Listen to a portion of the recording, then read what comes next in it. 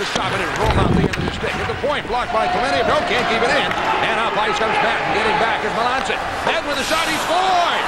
Madden puts it off the post on the wide side as the River Rats take first blood and up with a 1 to nothing lead. That goal coming at 7.07 of the first period.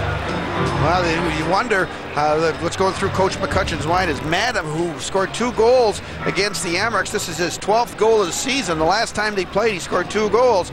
Look at Madden. He just takes the shot. You thought that it sure the heck looked like Mike Bales was out far enough. That was just a perfect shot. He gets the puck in low on the far side, hits the inside of the post, and goes into the net. And the Albany River Rats, you know, you had everybody picked up. You had Melanson coming over to pick up Madden.